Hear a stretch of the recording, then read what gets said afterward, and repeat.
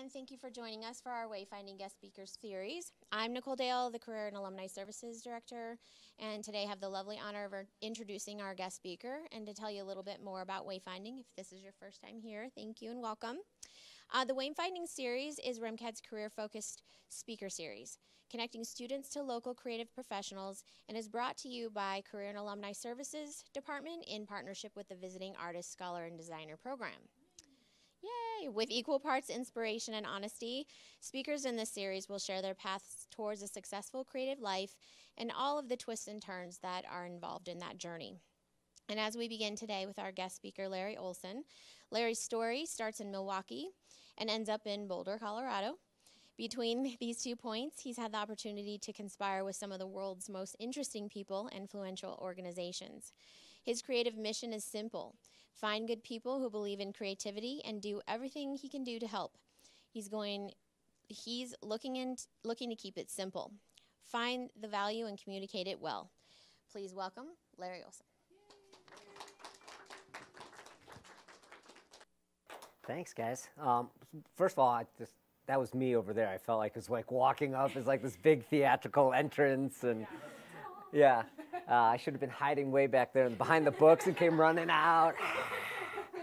Um, but thanks, guys. I'm really excited to be here, and thanks for uh, you know you guys all have busy things, busy lives, and thanks for coming and uh, uh, listen to me uh, yammer. Um, so today we're going to talk about five things to do to have a happy creative career. Um, and everyone in here, you guys make things, artists, designers, creators, right? So it is. Um, it's not a mathematical formula, right? You're going by gut and you're making stuff and you're putting your heart into it, right? And you're putting what you feel is important into your work, right? And that is really vulnerable. It's not a mathematical formula where you can, like an accountants, where they can just go, they do the formula, hey, we got, it's, it's XYZ. I don't even know what XYZ means, but it's XYZ. And, uh, you know, the formula is right. You're putting yourself out there. And so it's um, very emotionally vulnerable. It, there's a lot of anxiety around that to put yourself out like that. There's a lot of anger. Um, and so um, I just wanted to talk about some of the things um, that I've experienced through my career and some things that I've worked on. Um, there are five that I feel are pretty central that I've been experimenting with. And you guys might have your own sort of creative process of how you get to the good ideas and how you keep those ideas flowing. Um, and so I'd love to hear those. If I'm always trying to learn more and try to figure out how to how to be more creative, how to get to ideas with with less struggle, right? And so um, we're going to just talk about that today. So um, my name is oops, I went the wrong way. So um, my name's Larry, and I have a studio um, it's an advertising and design studio in Boulder, Colorado. Um, and what we do is we partner with, with brands and companies and we help them find out what their strengths are and what, what their sort of brand soul is. And then we together communicate that. And so the company, um, and through my career, we've launched products and campaigns for every screen imaginable. We do strategy and brand positioning. Um, we get into graphic design and packaging design and app development. Um, and we then also make um, commercials or brand films and, and lifestyle content, so advertising campaigns. And so I feel so um, fortunate that I get to work in something I love, right? And I have buddies back in Milwaukee that didn't follow their passion, didn't follow what their sort of heart was in, and now they're later and they're like, they're so jealous that I get to make and do things just like I was when I was a little kid, right? And I get paid for it. And so I've always, so I was a, um, I was an F plus student in school, and uh, I found so much joy and coloring and drawing, going and listening to the Police in my bedroom and drawing Star Wars figures, you know, for hours. And that I could just get lost in that for hours and in the school was so painful experience, but I could the, the retreat to my room, right? And it was great. And it was freedom and it was really inspiring. And so I've always loved making things, right? So I love to make commercials, and here's one of the first commercials I ever did. So I'm going to set the mood. This is like in the 80s, and my dad got the family a, a VCR recorder, and it was huge. You had to put it on your shoulder, and it had a pack, and you could only shoot with it in the kitchen because there's enough light in it. So this is probably 80 something. My dad is poured himself a cocktail. He's sitting in the living room, probably watching the Bucks game, and my brother and my best friend and I are making a racket in the kitchen. All right, so this is our first commercial. Let's see.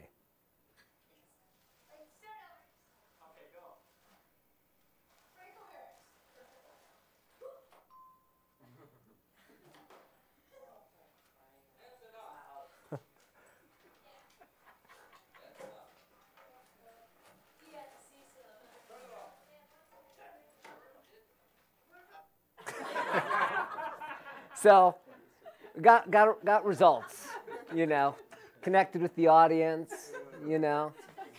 Um, so this, this, this next commercial was, it was, so that was my first one, and this next one is the last one I've done. And this was uh, for a campaign for Google. So I'm getting my buttons wrong.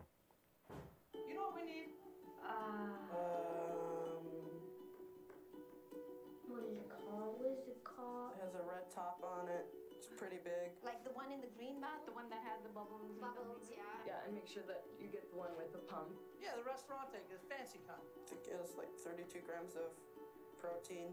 Or 12 pack. Uh, a three pack large. Probably need like 5,000 maybe. Maybe just one is probably fine, right? Yellow? Blue, yellow and blue. The purple ones. I don't care what color. They have a top on them. It has like a shaker. The one has a straight, Uh, crunchy. soft.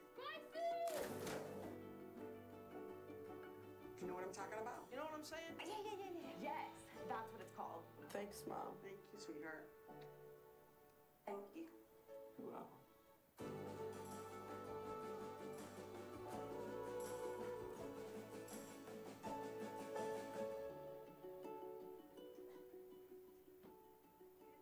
Thanks. Um, so I've had, like I was saying, I had the opportunity to work with some of the best brands, most influential brands on the planet. Um, I've had the opportunity to work with Nike and Google and Patagonia and Apple. Um, one of the projects I did for Apple was this is a while ago. This is like 2010 maybe, and got an assignment from Apple, and it was create what music looks like in a four by four square. That was the only assignment we had. Like that was all we. We then just started to make stuff. Okay, what does music look look like? And four by four square, right? And we didn't know what it was for, and they gave really a, they were super secretive. And then so we shared a bunch of designs, and then they they really locked into this sort of like spray paint one. And then they said, okay, now do a bunch of different iterations of spray paint. And they said, okay, great. And they just took the files, and we had no idea what happened with it. And then there was a keynote address a few weeks later, and Steve Jobs came out to announce a new Apple update and for iTunes, and that's when we got to see the work appear. Um, but uh, today's story starts in, in 2009. So I, um, we won this account for MSNBC, and so at the time, just got to set the stage here.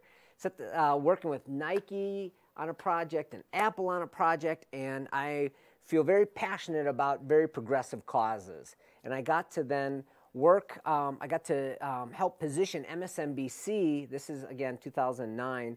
Um, it, as like the opposite of Fox News. They were just known as a news channel. And so for the first time, I really got to write and create something that was like based on my values and sort of wrote this, this, these, um, a position for this brand. And the insight was that, um, and this is just from research, that a conservative minded person um, feel, feels like we're off track and that we need to go back. And a progressive minded person, uh, just according to the research, set, thinks that the future is going to be better, right?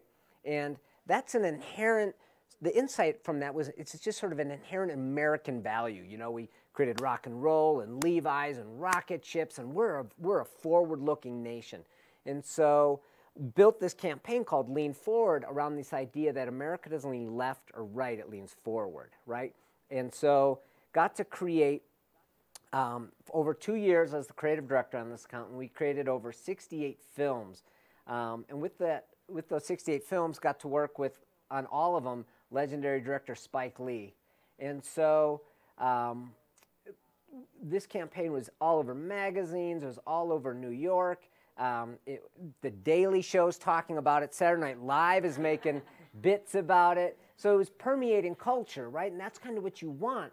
And so I found myself sort of, um, I reached my creative goals. Like I wanted to do work I believed in. I wanted to like have national recognition. There's the ego, and uh, I, I, was achieving that.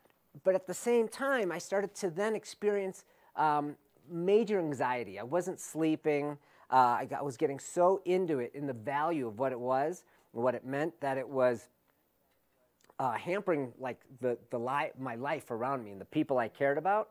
And what was really important was I wasn't being the best dad. I was so focused on career and work and damn everything else. And there's a ripple effect with that sort of mindset.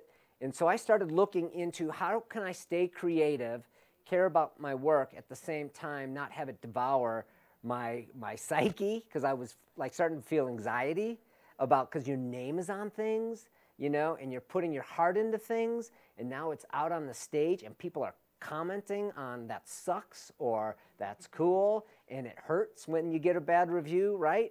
And so I started looking into this more, and I found that um, I started reading a lot of um, um, human growth and psychology of science books, and I found that 70% um, of Americans hate their job, right? That's a lot, you know? And I think because they didn't follow their passion. And so, one thing, I was really excited that I followed what I believed in, right?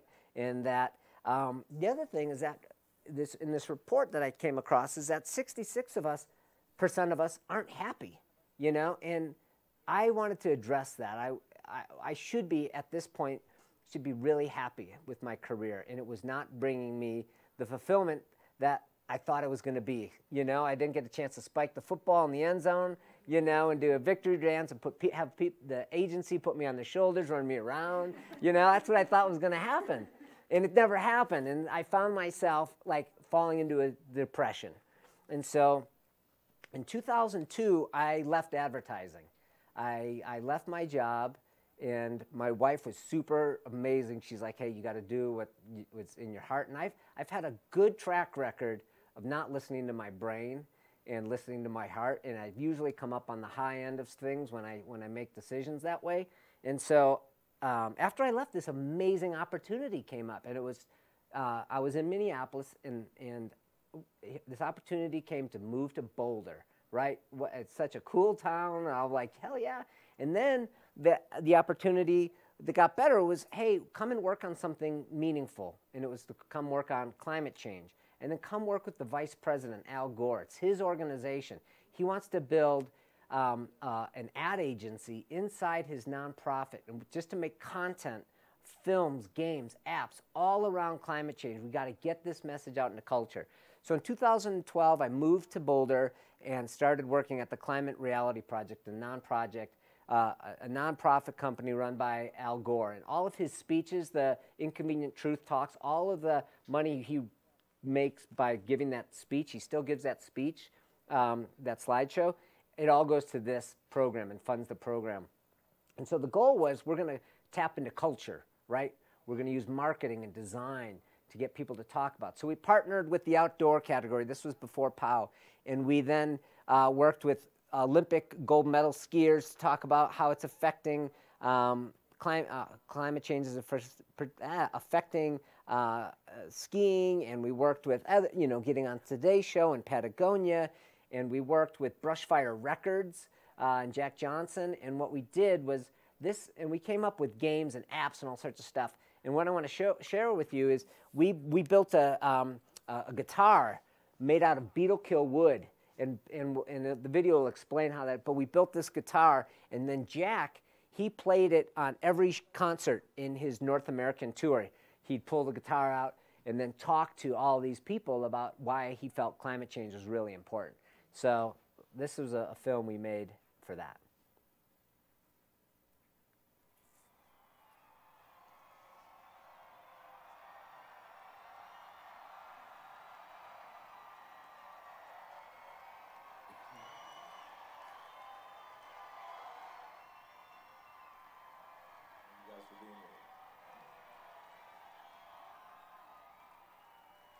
guitar is made out of wood from Colorado from these beetle kill trees. They're all these dead trees. And so he used the wood from these trees. So right here, this is the uh, Climate Reality guitar, and we're going to try it out. Right?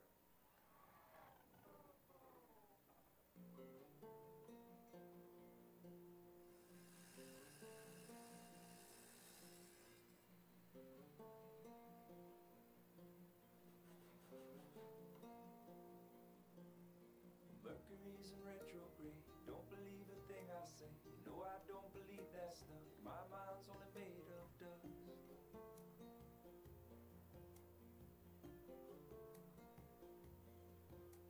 The echo always said get real. Mostly I just go by feel. Kick it first if it don't stop. Don't need tools, I got my heart. Our climate is changing. People can see it. But what if they could hear it? What if we took all of the negative things that are happening and created something positive? An instrument for change, forged from the very destruction that it is meant to undo. I'm Jack Johnson, and this is the guitar of reality.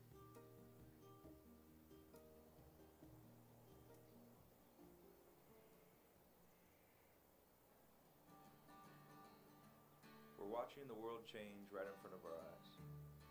But sometimes we don't know what we're looking at or what it's telling us. This forest in Colorado, like many others around the world, is being eaten alive by bark beetles. Miles and miles of dead trees, ecosystems wiped out, and the stage set for catastrophic wildfires. There's a message here.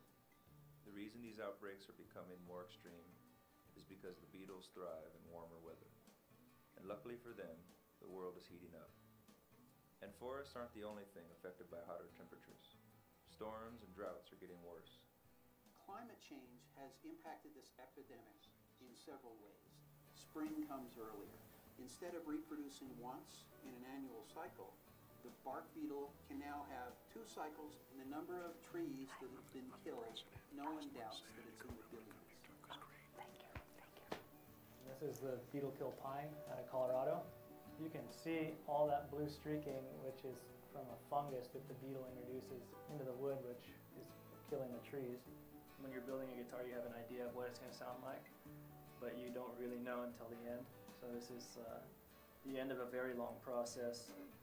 It's really doing the right thing to take something that's been killed and work with it, cut it up, and give it what I feel is giving it a new life.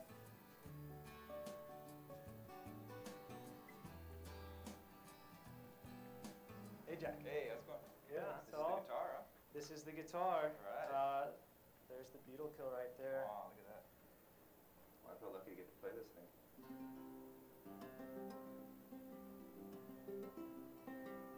With this project, it's a fun way to communicate something that's that can be a sad issue. So for me, I get to play this amazing instrument. It's also hopefully going to be bringing some attention to you know an important issue. And so if music can shine a spotlight on something that's more important than what we're doing, that's great. Music's definitely shaped my life. A lot of my favorite songs have you know turned me into the person I am today. Into a world of boys and girls are holding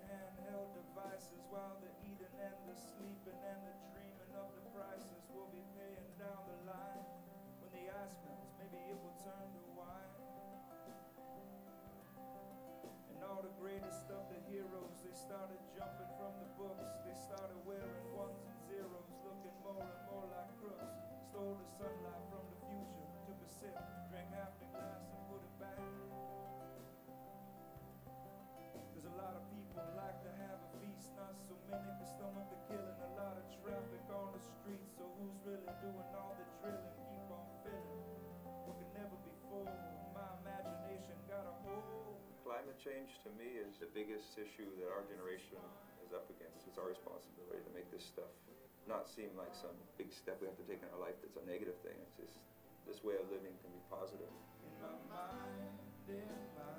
I would like to leave a world that's just as beautiful, if not even better, for my kids.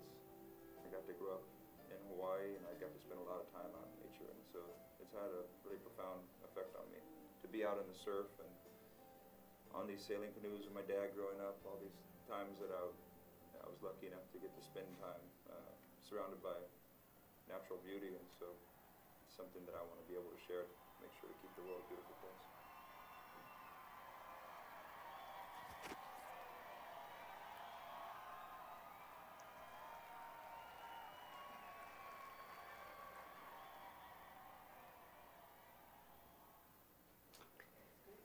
So um, that leads us to here. So everyone, you know, that that's just sort of my road of how I got here today in this room. But I want this, these five things are apply to any creative process, whether you're an illustrator, designer, into fashion. Um, this is funny. My I going to tell my son he's 10 about the interior decorating program here because he just said the other day that he loves decorating his room and and uh, said, oh, maybe you can do become an interior decorator. And he said, they do that? You can do that for a living? So that it, this that epiphany, those lights when they go on, that's that's why we got into this, right? That's why we're choosing this beautiful curse that we need to make things, right? We're makers and we need to make things. And you, like I said, when you put your heart and soul in things, you're putting it out there, right? And so I, st- I stole this from a chart and, uh, from a friend. Um, and so this is this is the, the emotional path of making something, right? You're like, oh, I got a great idea. This is awesome. And you feel that adrenaline hit, right? It's the best. And then it goes the next day, you sit down with it again, you're like, yeah, God, it made so much more sense yesterday, right? And then it goes, uh, this is gonna take some work. Well, you know, and then this sucks. And then this is the this is the low point is how do I get out of this? You know? And you're looking at the timeline of the deadline. Can I change the idea? Can I come up with a new idea? Shit, I don't have time. And then all of a sudden, like, it'll be good to finish this. And then you finish it, and uh, you know it's not as bad as I thought. And now I got to go make something again, right? So that's that's right. Does that sound like your process? Yeah, right. And so, and during that process, when you're creating something new, you're experiencing anxiety, right? Your name is going on and it's going out in the world. That can, and then the fear of it doesn't work out, or the the anger of like they don't see what I see, right? And so, all of those emotions are super toxic, right? They're super toxic, and they're not conducive to making something new, right? And creating something breakthrough. So, what we have to do is we have to overpower these. We have to blow through these. We have to work above these, right? And so when we start thinking about it, our body is a system, right? It's all interconnected. And how you think and how you feel affects your work, right? So if we're going to create work that's going to make people laugh or create work that's going to emotionally touch somebody, we have to be like, we can't be locked up, right? And so one of the things we need to do is we need to find out one. So this is the first one of the five. I, uh, uh, didn't know how many to do, but five just seemed like a good number, right? So um, you got to find your creative energy, right? And so that's really just sort of understanding you, right? Um, and so I cannot pronounce this guy's last name. We'll just call him Dr. C. Um, and so he talks about reaching this peak cognitive flow, right? You guys experience that? You're working on something and you are in it. And time goes out the window and you pick your head up and you're like, oh my gosh, I've been here for three hours. I'm late, you know, to be somewhere else. Um, I always get in trouble because I tell my wife, I'll be home in five minutes. I just got to do this one last thing. And then that one last thing is like 90 minutes.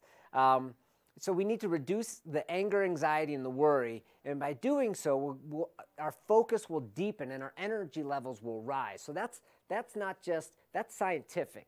And so this is talking about getting into the flow and you lose track of time. And it's that inner clarity and you know exactly what to do. And, and you guys were nodding your heads. You guys, you guys have been in that. You felt that, right? And it usually comes around things you're amazingly passionate about. You don't get into flow when you don't care about something, right? When you, this is back to you putting your name on it. You're trying to create something of meaning and value. And this is when those sort of huge, like hyper focused times happen. And so science has proven that we have a three hour window of our day where we're really focused. You, you can't do it all day, right? You, so if you have three hours in your day where you can have be super productive, you we need to find out where that time is. Are you, are you um, super creative and super focused in the morning, right? Some people are. Or are you super focused, you know, in, when the sun goes down, you know? So understanding that. For me, I, I'm really great about 7 o'clock. What I find myself, and it's not great for, for family time, but as soon as the kids go to bed and, and like I'm a, I can just get lost in time and I'm like, oh my gosh, it's 2 in the morning. Um, and so Benjamin Franklin, uh, uh, you know, a prolific writer, he would write every morning as soon as his feet hit the ground, 4 o'clock in the morning, he'd start writing. Uh, author uh, Walter Isaacson, who wrote the Steve Jobs book and the Da Vinci book, um, he doesn't start writing until 1 o'clock in the morning and he writes through the night. So finding that time that you guys have where you're super in it and, and structure your day around that, right? Um, and there's research around the, the neuroscience about identifying these robust links in exercise and cognitive. You ever trying to struggle to put an idea together and they just seem super distant? And then you're taking a shower, you're walking your dog, or you're doing something, and your subconscious puts it together, and all of a sudden it starts to make sense.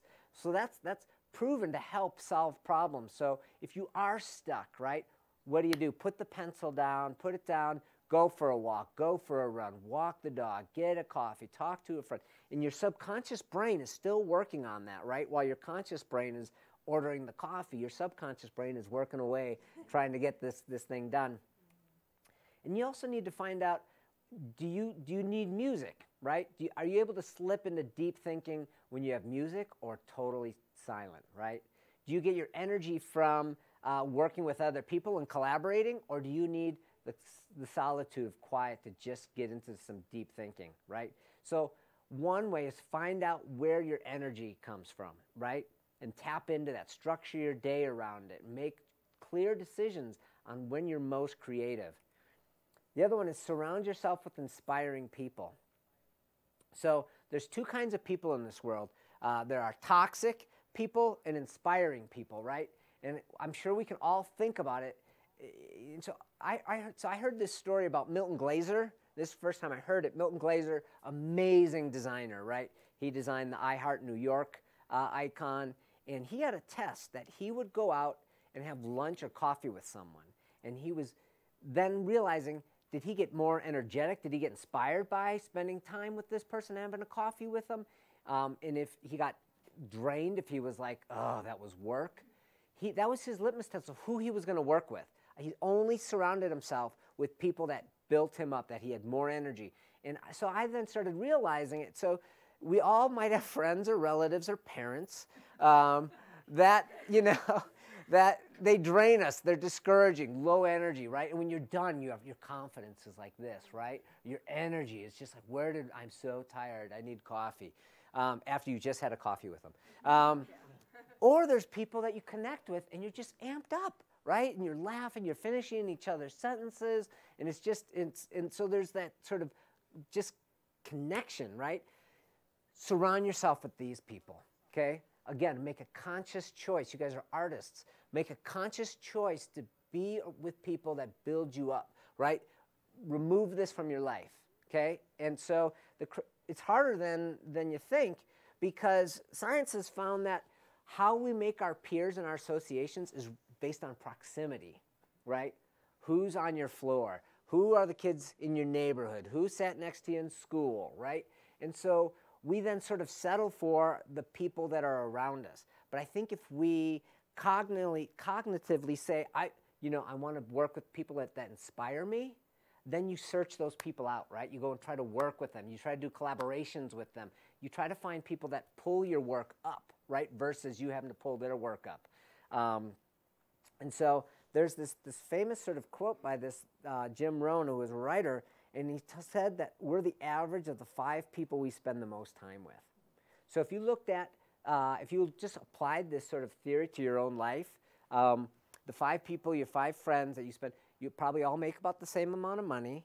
You guys are all probably on the same sort of skill level in, in, in whatever craft you are in, right? And so if you want to raise your game, I'm not saying blow away your friends, take them with you, but I'm just saying don't just settle for proximity, right? Try to work with and do collaborations with people that you, that hold you to a higher standard, right?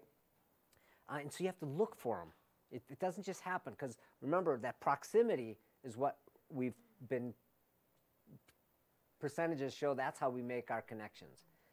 And so there's a saying, you know, if you surround yourself with people that have a higher standard than you. Steve Jobs, uh, there's a story that um, when they were building the iPhone, um, there's all these great stories of Jobs that he would make people create the best work of their lives, right? He, he held people to a really high standard.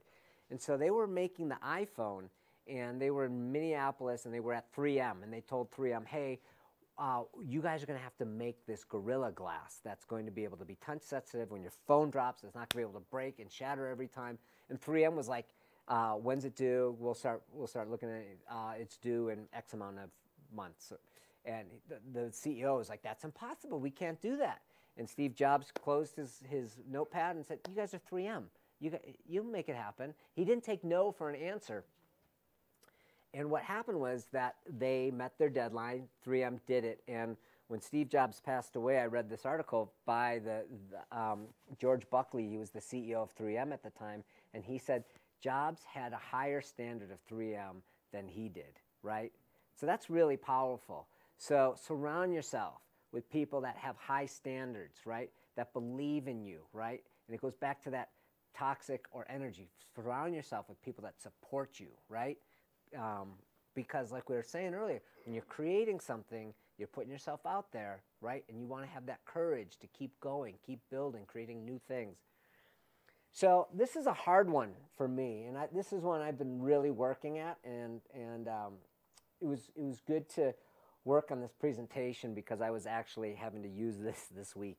Um, but this is it, the reason why it's hard is we have to move past this idea about the outcome, right? And so there's this author that I read in that when you set your goals on a target, it should be things you can control, right? And you efforts that instead of the results. You can't we can't control the results. You can't control whether the critics like your work. You can't control whether you get an A or a B, right?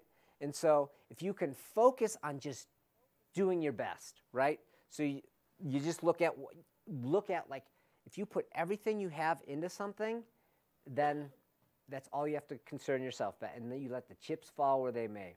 So this is this is sort of um, a way to sort of overcome this is just work really hard because you can control that, right? You can control your effort. You can control uh, the time you put into something. And if we're really honest with ourselves, there are times when I've done shit work and when I know, like, that I mailed that in, that was, and that sucks, right? And so if you can put your like soul into these things and make things that you feel is the best of your ability, and you that's where this comes. This is where you should focus. Things you control at, things that matter. It's a, just a little slice, right? And so externally, we can't control the externals. We can't like for me, it's like hope the client likes the work, right? But what I found is that when I'm going to create something, I want to create something new that I'm really proud of. When I'm working in this space, I just, I don't, I worry less about if they like it because I feel like, oh, they're wrong, I'm right. Uh, uh, but so when you work over here and you just work to the best of your ability, um, it's so freeing.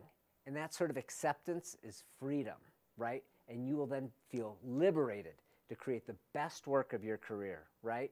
And when you think of your favorite artists, when I think of all my favorite musicians or artists, they sort of damn the critics, right? They just say, I'm going to make what's in my heart. I'm going to make, and they don't worry about the judges. But it's so hard to emotionally get there, you know? And how do you, a lot of times they're not stable people. my fa- all my favorite artists are a wreck. And, uh, uh, but so how do we, rational, sane people, go and create great work, right, without having this wake of carnage behind us? Um, and so when you work really hard, focus on the things you can control, right? And can you control doing staying up one more hour? Yes. And if you feel you've done everything you can, you let the chips fall where they may, and you will always, always feel good about your work. Uh, this one is think beyond yourself. Um, and so helping others does not have to be humanitarian work helping others can be something small, helping your team. I think a lot of times um, in this sort of purpose generation, like, oh, I want to help and go drill a well in Africa, or I want to work on climate change. And it's all these grand, huge, and those are important, and those things need to be done. But a lot of times we overlook the small things that are right in our day to day lives, right? Because we're all busy.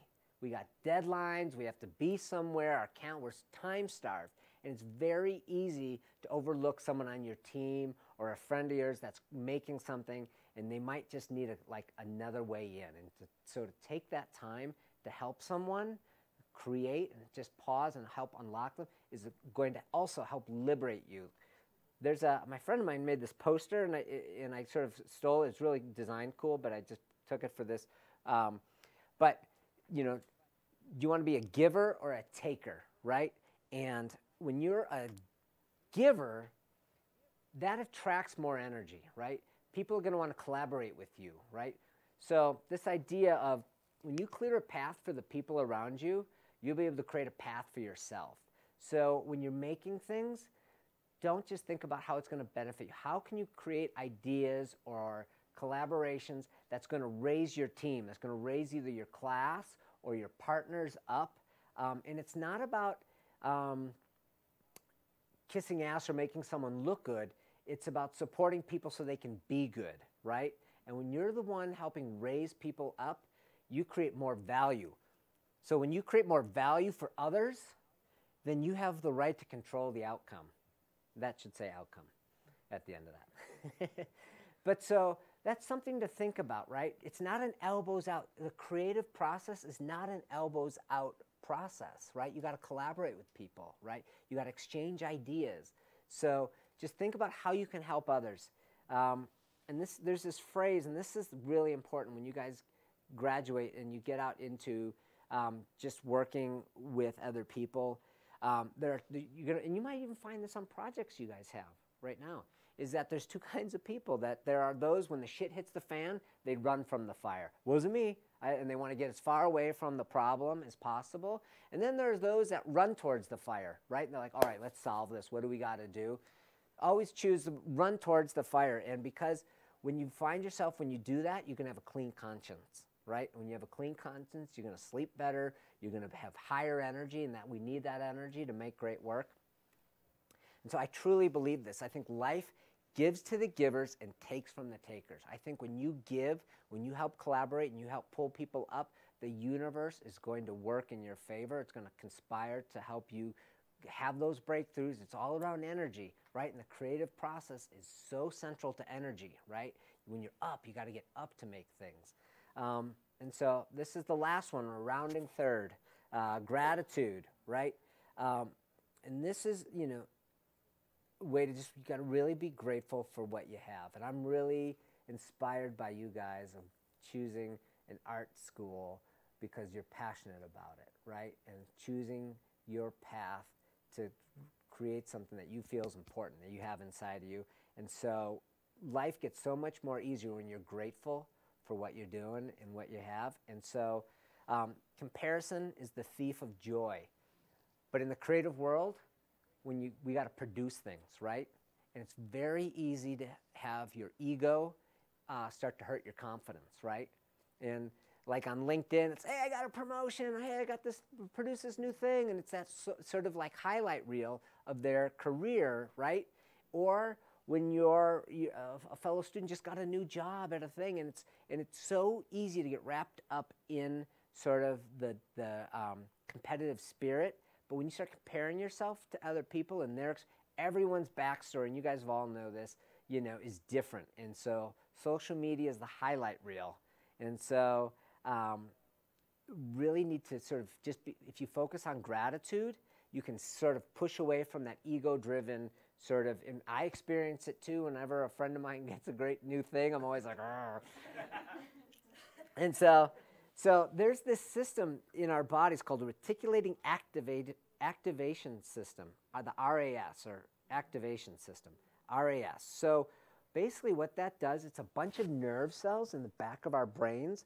And so when we're little babies, um, the, the, RAS, what it does is it filters out irrelevant information and it only allows us to focus on relevant, relevant information.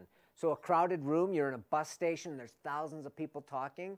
Um, it, the RAS allows us to have a conversation, right? And, and we filter out all the other noise, but a baby, you put a baby in like a bus station or Grand Central, and they don't have, their system is not developed yet. So they hear all the noise, right? And so they can't filter out what to listen to. Their RAS isn't, isn't developed enough. So, have you guys ever done this? There's a song you love, and all of a sudden you hear it all the time. Or let's say you're going to go buy a car, right? And you go to the lot and you're like, oh, a, a Jeep. All right, silver, it's this. It's cool. And now you now you go home. You're like, oh, should I get it? Should I not get it? And you're thinking about it. The Jeep is now in your frontal cortex. You're thinking about it. It's in your subconscious brain. And now you're driving around and you're seeing the same Jeep everywhere. You see it in the parking lot, just past you. And the reason why is because you're focused on that. Your brain is thinking about that. The RAS is now sort of only bringing you information that is important and relevant to you. So when you think about that's how our brains work, and think about that with thoughts, positive thoughts, right?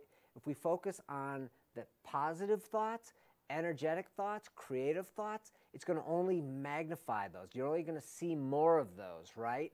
And, and ones that uh, when you're focused on the negative, you know, the dark side of how do I get out of this, when you sort of suffer in that low point of like, this sucks, all this, it only draws more. My mother in law, she's, uh, she's very religious, and it's great because she will thank, like, oh, it's what a beautiful day. And I'm like, this is beautiful. And then she'll be like, a beautiful breeze. Oh, just so great that God you know, gave us this breeze to enjoy. And I, I always think it's really, she's always doing it. And she's super positive because she's focusing on all these little things that are, and so she just tracks more positivity.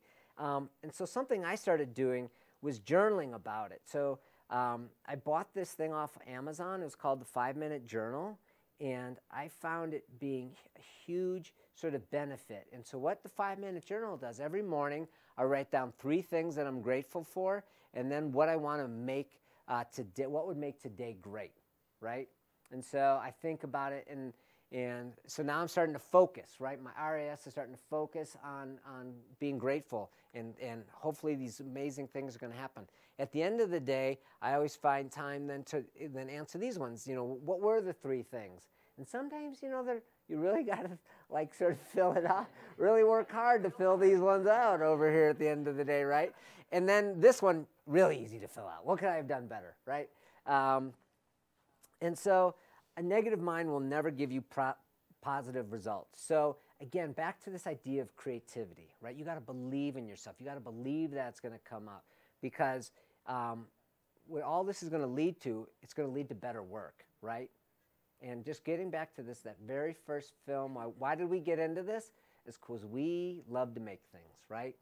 And when you to do your best work, you need you can't be locked up, right? You got to get back to that joy when you were a kid of coloring in your room for hours, making something that you believe in. Get back to that because that's really important.